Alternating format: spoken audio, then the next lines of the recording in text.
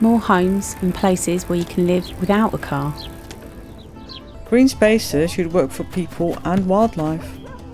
New buildings should make their own green energy.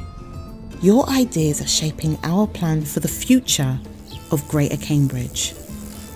Have we got it right? Our first proposals. Comment online now.